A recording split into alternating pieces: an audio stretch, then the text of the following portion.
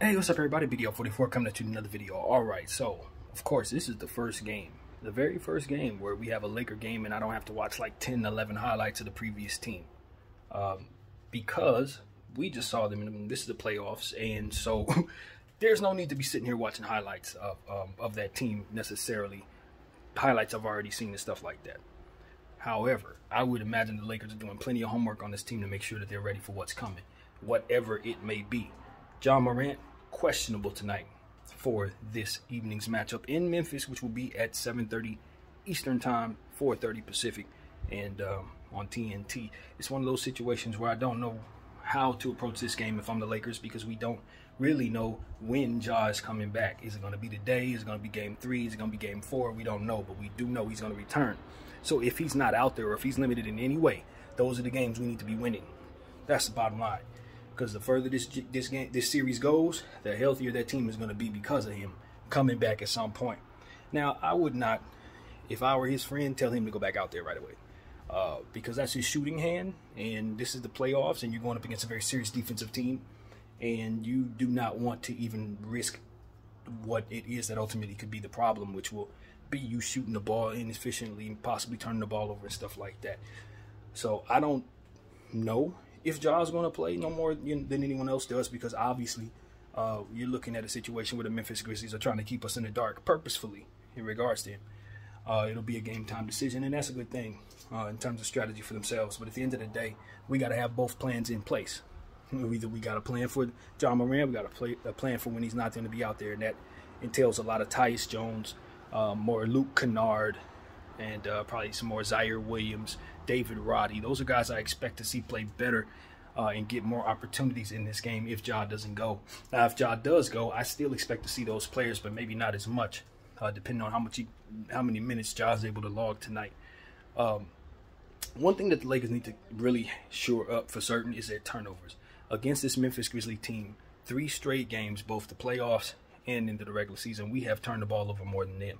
In that second matchup, we turned the ball over, I think, 26 times to their seven, and we got beat pretty good uh, in that matchup. So, needless to say, respecting the fact that they're going to force turnovers is one thing, but not giving them any and making sure that the unforced ones are not something that you continue to bombard yourself with uh, is definitely going to be the key.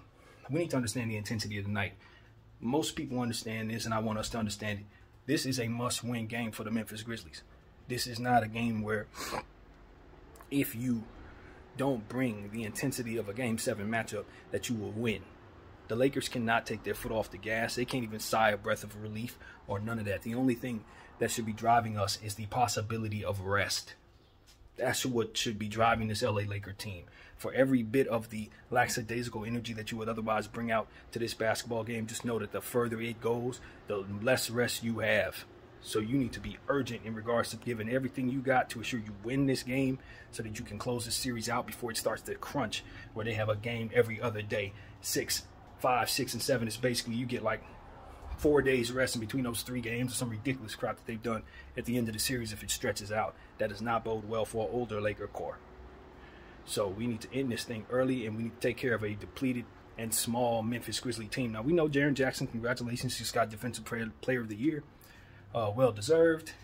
Um, and we're gonna have to respect him, but at the end of the day, uh, he doesn't have enough help around him in his front court to be able to stop the bombardment of, of big players that we were able to throw at him.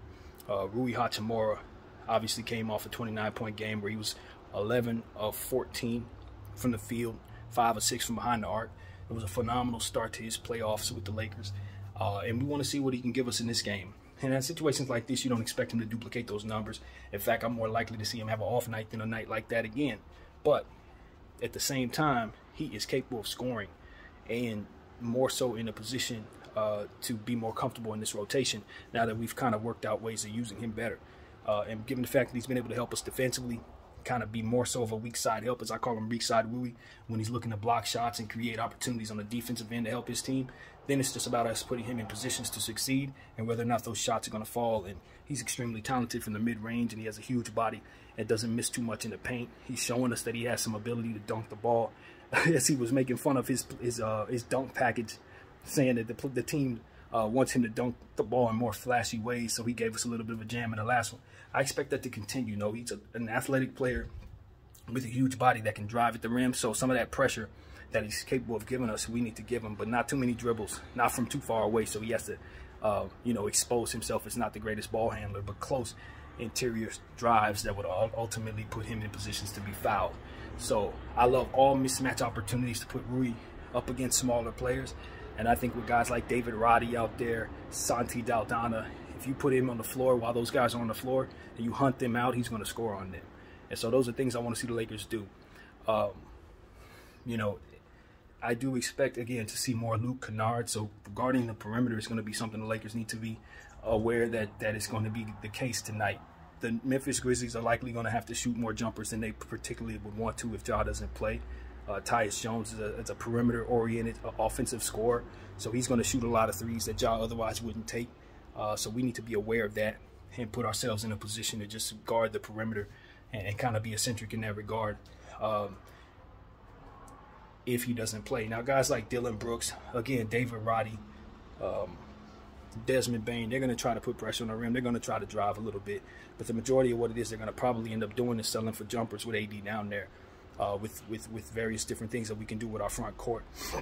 If LeBron's going to continue to put more energy on the defensive end, which is something I've suggested since we have so many offensive talent, we're going to need him to uh, conserve his offensive energy and more so lean into his defensive capabilities. And I love that he decided to go that route in this game. I think it's a recipe for making us more effective, thus will give us more rest in the long run. Because remember, that's all these wins are about for us.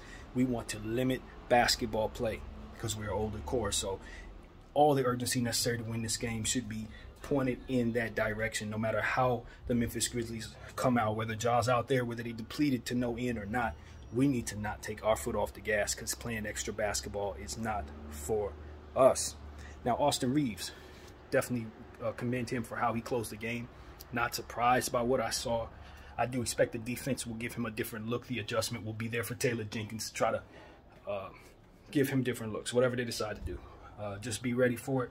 And uh, I'm looking for Dennis Schroeder to kind of come out of nowhere and kind of give us some push um, because he's the guy that didn't really do much in the last game. And I just know that uh, he's back there waiting for an opportunity to show people that he can win a playoff game uh, as well. So I expect this to be a night where Dennis possibly steps forward and does some more things, especially with Ja not on the floor.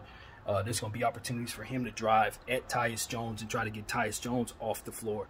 And if that's the case, I'm really not sure who they're going to run at the point guard position, which is why the Memphis Grizzlies are in such a tough position because not are they not only are they down at the front court, but they're going to be potentially crippled in in their backcourt as well. And even though Tyus is more than capable of doing what he needs to do, the rest of those guys don't really have point guard skills. They're not. You're, you're um, you know, Desmond Bane and, and Brooks and Roddy and, and uh, Kennard, those guys are looking for their own shot. They're not looking to kind of get each other involved, so that can really work in our favor. And I want us to uh, kind of take advantage of them if for some reason that is the case. Um, getting Tyus Jones in foul trouble if Ja's not out there should be a priority. Just like you hunt big guys, you hunt them little ones too. Because you know if they remove a point guard, they can't run their offense. And bingo, we're out of here. Rebound the ball, render them useless with jump shots as we continue to probe the paint the way we did in the first game. We'll get easy win they're just schematically at a disadvantage. This is the what I said about um, going up against the Dallas Mavericks, and you know how to attack them because at the end of the day, they didn't have any interior presence defensively. So all you gotta do is drive, drive, drive, drive, drive. You're gonna you're gonna beat them. Like this, whoever you are, you just you're gonna be able to score on them anytime you want to. And so I kind of see Memphis with them being depleted in the way that they are.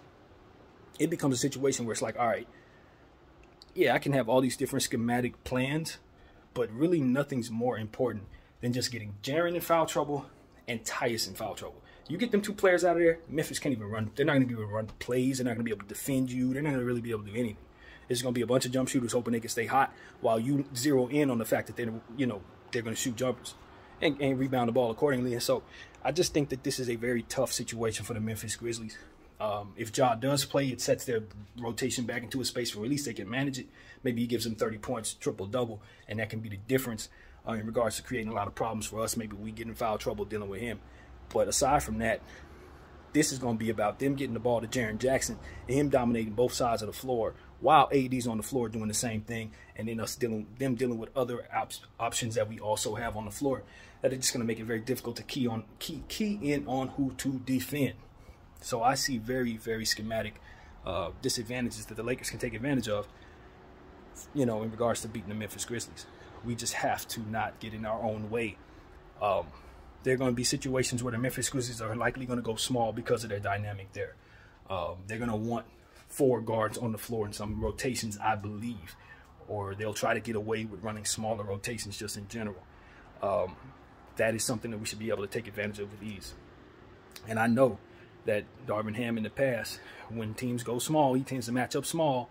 But I just think that, you know, my philosophy on small ball is, is always, even if you find yourself in a position to spread the floor out and take advantage of the center on the other team, you're going to open up more holes that you're giving up defensively and rebounding and creating, um, you know, an environment for where your team is fouling more just by going small against bigger players who are going to get the rebound, who are going to likely be more physical with you, who are likely going to render you a jump shooting team if you try to put pressure on the rim with small guys. It only really works to your advantage if all of those small people are scoring the ball. And if you have good defenders on the floor like we do, who can guard those guys like Vanderbilt uh, you know, Austin Reaves, guys with length who can match their small with length, uh, then it really just becomes a situation if they can beat those those matchups, maybe they can get a jump shot off. But likely with our way of playing defense, they're not going to have much success in their small ball lineups if we stay disciplined and play the size that we have available to us to create the advantages necessary. Yes, you may give up certain certain possessions and situations where a guard may hit a jump shot on your center, but you're gonna go right back down there, and that same guard is gonna foul your center in a situation where he's trying to rebound the ball over him.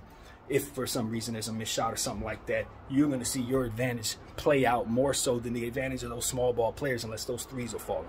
So this is where I'm at. It's like, okay, yeah, I'm creating an opportunity to to create an advantage, but that same dynamic is going to create more holes in general. And this is why I'm a firm believer that small ball should pretty much be done away with entirely.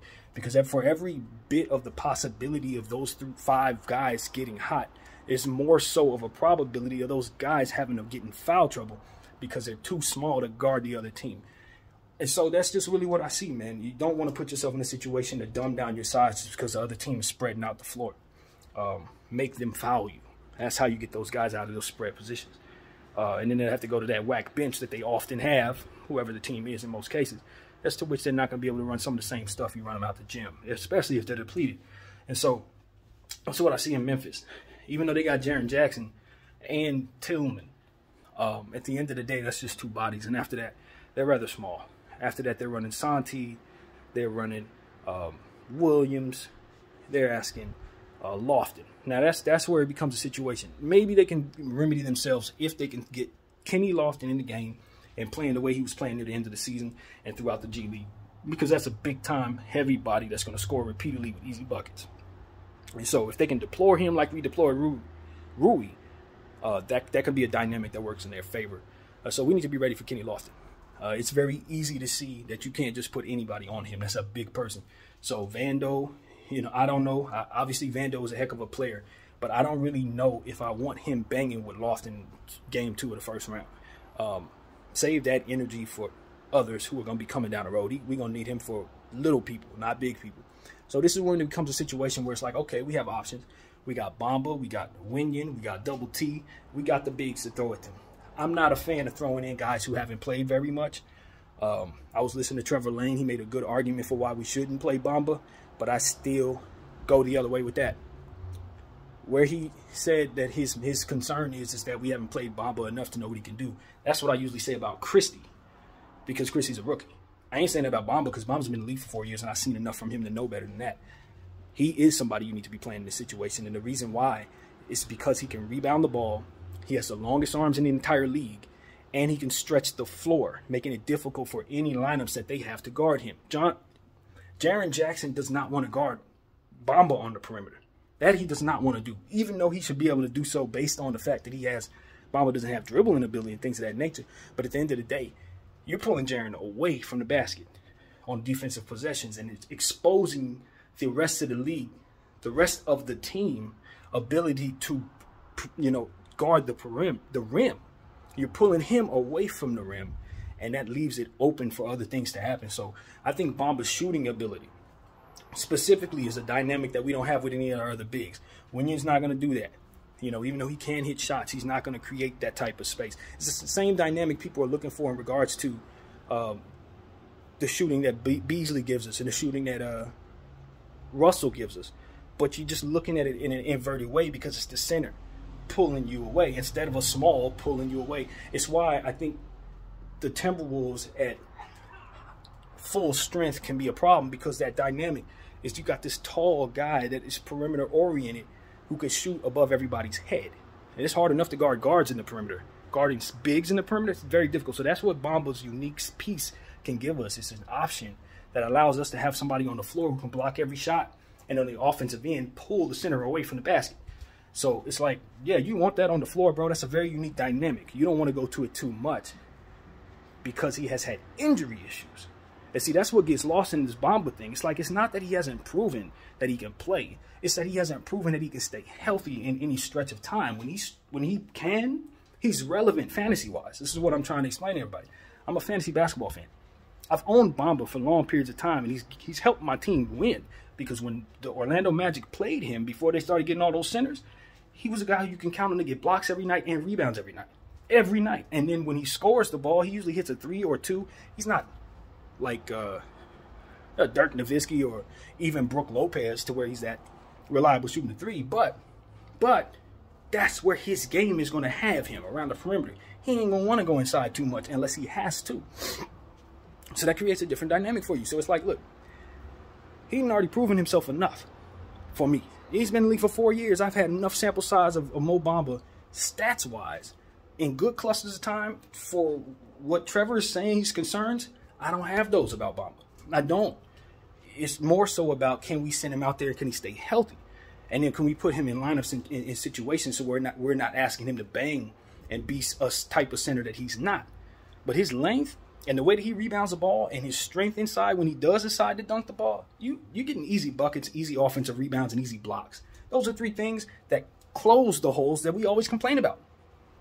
He's the piece that's going to close those holes. We're always talking about how we hate the fact that we keep putting Wenyen on undersized situations and undersized players. Uh, you got Mo Bamba down there.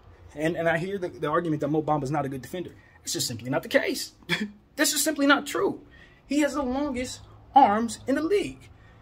That right there alone is going to make him an effective defender if he's even halfway effective thinking defense. And he is. He really is. He's not somebody you want to put on Jaren Jackson, but you definitely want him on the weak side of Anthony Davis when he's trying to guard Aaron Jackson.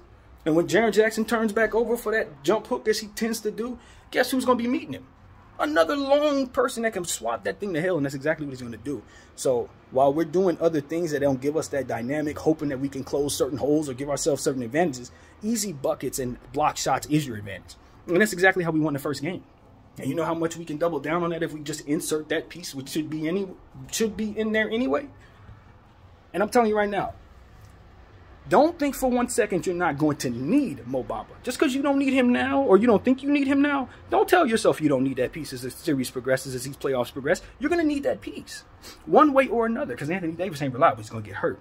So how do you help yourself not get hurt with Anthony Davis? How do you help yourself just overall manage his situation by making sure you play every single one of his backups in these playoffs. That's how you do it. You don't let Bamba sit because you haven't played him. You damn play him. and you do it while the series that you're in is more likely for you to win. This is the time to play. It is the playoffs. But this is the soft side of the playoffs because Ja's hurt. And we're basically favored to win this series any damn way. So you got free games to run that player and get him into rotation. I'm not saying you give him 25, 30 minutes tonight. No, you give him 10 with the intention of increasing just like you've been doing with Rui over the last month. And as these playoffs progress and you work him into the equation, you will see the dynamic I'm talking about if he can stay healthy, and he may not. As to which you would then go back to Wenyen, then go back to the stuff we're doing, and those guys will be fresher because of it. Because we went to him and set those guys, let him incorporate himself into what it is that we do while they're getting rest. So they're likely to stay more healthy. This is what I'm trying to help teams understand. These seven-man rotation, that stuff doesn't work anymore. Why? Because the science has told us that injuries are a problem. Why are injuries a problem? Because people are playing too much basketball. Why are they playing too much basketball? Because we're not using the whole damn team. And in situations like this, when you need what the player can do, you don't sit up there and give yourself any excuses, least of all the one that says, yo, we ain't played this guy, so we definitely shouldn't play him now. Hell no, nah, you do that with somebody else. You do that with somebody who ain't never been out there. You don't do that with somebody who's seven foot one can hit a bunch of threes and block a bunch of shots and rebound the ball a bunch of times, dunk the ball a bunch of times. You don't do that with that piece. That's the piece you play. You get him incorporated because he's going to make you better. You bench Beasley. You bench Troy. The only reason why you have Troy out there like this is because you need the length. With respect to Troy, because he can't help us, but he's the most inconsistent player we got. He's not he's not overly talented, man. He's got to continue to work his progressions to get a lot better. He's never supposed to be in rotation like we use him. It's just because of the small ball stuff that we often do makes it so necessary that we keep his piece out there.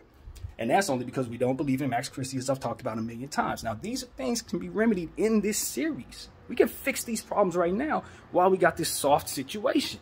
Because at the end of the day, it is soft. We say whatever we want about the Memphis Grizzlies. They are depleted to no end. They're just depleted, fam. So this is the time you start working things into your equation that you're going to need against SAC, that you're going to need against Phoenix, Clippers, Denver, likely, in my opinion, is probably going to be different now, looking at how well they're playing. These are the type of things I'm just looking at. And I'm saying, LA, if you dumb yourself down and continue to not use the players that you have on the back of your bench, thinking that shrinking your bench makes sense, you're going to run into what it is that I've been trying to warn us again about all season long. When you have the ability to play players that can really go, you use them to keep everybody else healthy. That's the formula that everybody's missing. They keep these guys that you love so much fresh. And if those guys that you love so much are not fresh, they're going to get beaten. That is where we are. That is it. That is the moral of the story tonight. That's going to be what it is for the rest of these playoffs, in my humble opinion. And we're going to see that play itself out accordingly. Now, what we need to do tonight is take advantage of that. Take advantage of this soft matchup tonight. It ain't gonna be soft much longer. If Ja comes back, it ain't all that soft. But the point is, is we're favored to win it. So you don't want to experiment in the playoffs, but if you know damn well you're gonna need certain things in the playoffs, you need to get those things incorporated into what you do right now in the playoffs, because you can't go in the past. You ain't gonna be able to fix those things in the past. You can't do that. But what you also can't do is pretend you don't have options just because you're afraid to use them. That is a massive mistake in the playoffs. Massive. And many teams have lost doing that. So, you know, I, I back to what the Phoenix Suns did in the finals, not playing Jalen Smith. It's one of my favorite things to reference because it was a clear, clear as day. Their power forward went down with a knee injury in game two, and they went small ball and ran with Torrey Craig or whoever they had at the time. It wasn't Torrey Craig because they traded him to, to Indy because they ended up trading this guy two Pacers to get him back. It's just nonsense. But nevertheless, they found themselves in a situation. I think that's how that went. I don't remember. But they didn't play this kid when they should have. He was a pick that they drafted in the lottery that same year. And as far as I could tell, there was no injuries. He was available. They just didn't trust him because he was a kid. And it probably cost them their best opportunity at matching up that year because he was the big body that they could have had on the weak side to help them with Giannis. And Giannis kept laying the ball up over their heads every play because they didn't have a power for. So it's like, look, I watched them make that mistake. I don't want our team to make that mistake because we don't have to.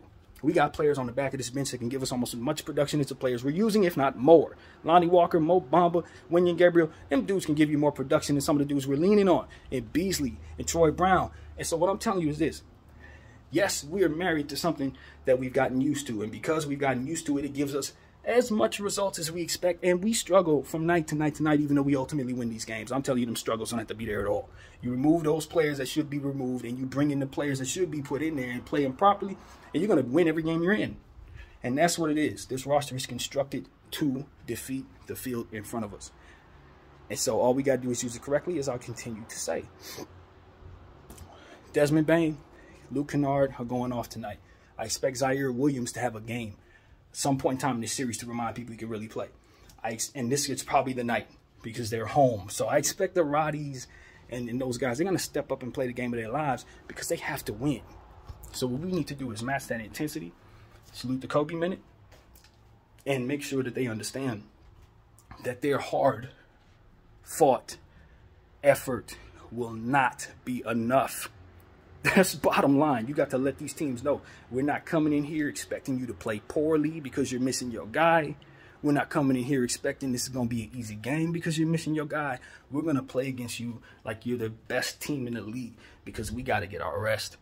and beating you is going to help us get that. That is the most primary thing for this old core, as I said before. So that's it, man. This ain't one of them long videos because at the end of the day, we just seen this team.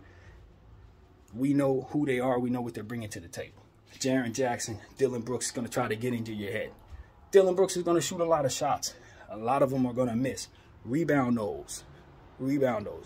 But if he gets hot, zero in on him because he's capable of stringing together a bunch of shots in a row, just like he's capable of bricking a bunch of shots in a row. You don't know when it's going to happen, but you know it's possible, so you don't want to get caught off guard that day. So these are the type of things I'm looking for. I expect the, the, the Memphis Grizzlies to try to get out to a fast start. I expect for them to try to ride their crowd, the roar of their crowd. Their crowd is going to be behind them, but that crowd is also on the verge of giving up because they're missing a lot and they got a lot against them and they've been through a lot.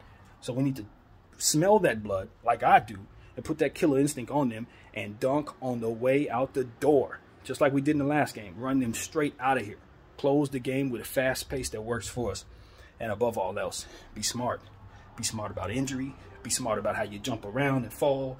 Be smart about everything because health is everything. And we can even up this series real quick if we have a couple rolled ankles because guys ain't playing careful enough to make sense of what it is they're doing. This is a soft matchup.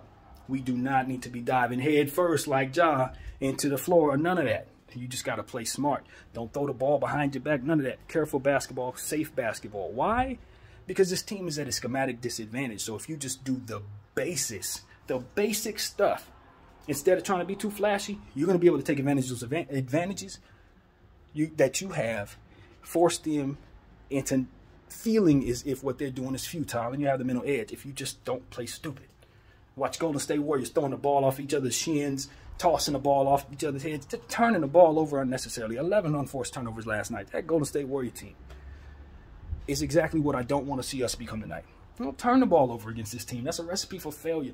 Memphis has forced us into more turnovers than we forced them, whether Ja's been on the floor or not. This has to stop. So if anything, I want our coach to zero in on and our players to zero in on is not turning the ball over. That means Bron James and Anthony Davis. We need those guys to be in positions to not turn the ball over. None unforced. If we, if we get forced, if they play good defense, Roddy get a re, you know a steal on you, you know Dillon get a steal on you, we're fine with that. It's to happen. Jaren's going to get his steals. It's to happen. But what we cannot do is step out of bounds unnecessarily, throw the ball off the bounds unnecessarily, all kinds of weird stuff that ultimately the Lakers tend to do when they're not focused as they need to be. So we've been in must-win situations for the last month. You know what I mean? This ain't nothing new. All the pressure that teams are facing, jittery and all that, we've been in this space. Trying to fight our way into the play-in tournament and then from there winning the play-in tournament game. We know what this is about. The Memphis Grizzlies pretend to know what this is about. They don't know nothing. They find out now. And if we do what we're supposed to do, we're going to put them through something that they need to go through to become whoever it is they want to become.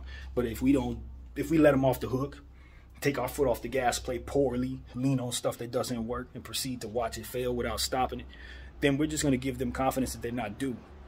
We're just going to give them every bit necessary to make them feel like they can win the series after tying up the series and then having a point guard come back headed back to LA where we tend to play iffy in our own building. So that's the thing. We play well on the road as a team, especially when we have everybody. We have everybody. And so I expect us to go out there and take this game. I don't I don't see a reason for us not to win this basketball game. I do expect the Memphis Grizzlies are going to play with a lot of heart. They're going to play with a lot of fire, a lot of focus, a lot of uh, desperation is the word, extreme desperation.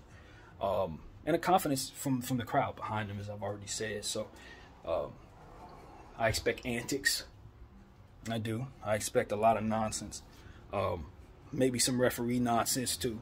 But we just need to, to step up and, and pick our battles wisely in regards to that. Don't do any Draymond stomping people in the chest nonsense. Nothing stupid.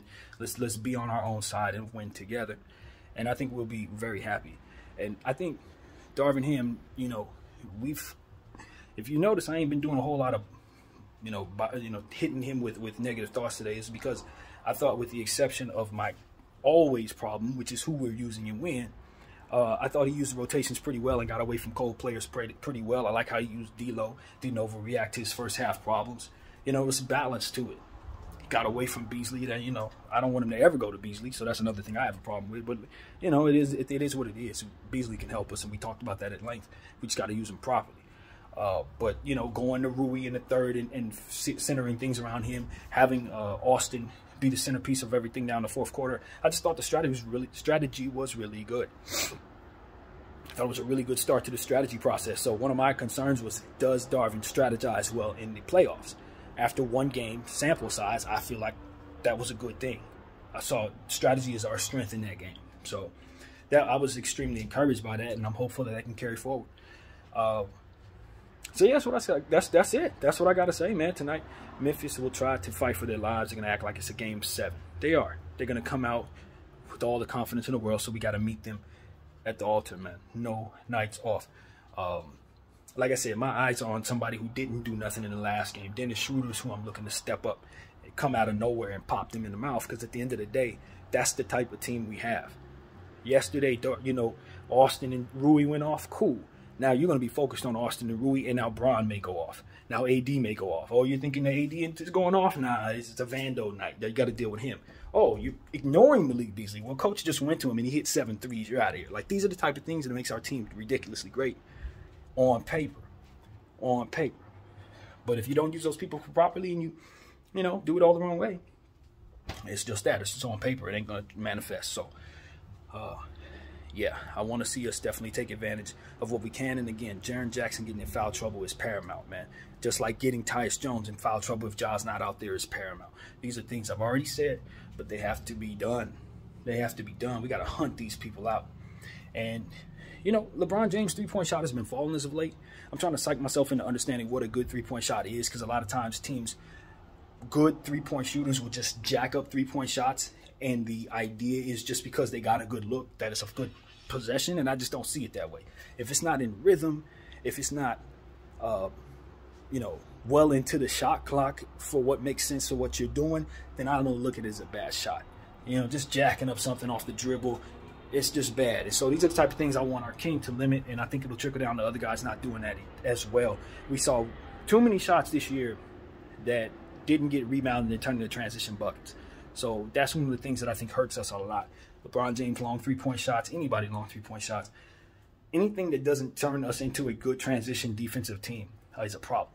You know what I mean? Because we do have good defensive transition players, but if we're throwing the ball off the rim in, in wild ways, uh, it's, it's, it's going to create outlets for the other team. So that is something that the Lakers have had a problem with, and I'd like us to shore it up in this series, uh, especially against a good defensive team. So, yeah, that's what I'm thinking about, man. Look out for Desmond Bane. he's called out Rui Hachimura, said he ain't going to do something. And I looked at Desmond Bane's numbers. He didn't have better numbers than Rui. That's what was so ironic about it. This dude talking like he big bro over here. Look at his numbers and they're not better. It's like who gets beat, gets outplayed, and then proceeds to taunt the other guy for doing so. It's like that right there. It just shows you how much of a loser they actually are. like they're losers, bro. They losers that walk around like they're strong, like they're tough, but they have no clue. And I've been telling people that for the last week. And I want us to, to stop, step on them. Just like Draymond stepped on Sabonis, but in a much more productive way for ourselves. Step on this team. Because at the end of the day, they got a parade in this city. That's the problem. How you got a parade? You ain't won nothing. We don't have parades on Figueroa unless we won something. So that's really what I got to say, man. That's pretty much where I'm at with it. I want game two to go to the Lakers, not just because I'm a fan, but because we need to get rest and because that team needs to be put out their misery. They've been terrorizing the league with their mediocrity all year long, dancing around when they hadn't done nothing. It's time for them to go back home, recalibrate, learn that lesson, come back with an even better squad, and then have some humility about themselves. If they're to come back out here, be respectful of the fact that your player can get hurt and you just be at a disadvantage. So don't walk around like you did everything when you ain't done nothing. Same goes for us. We can very easily have an injury and this series can go right back to where it needs to go. So be intent on shutting this team down, limiting these games, and getting to Sacramento because that's exactly what's about to happen. My name is BDF44. I thank you all for watching. I'm out.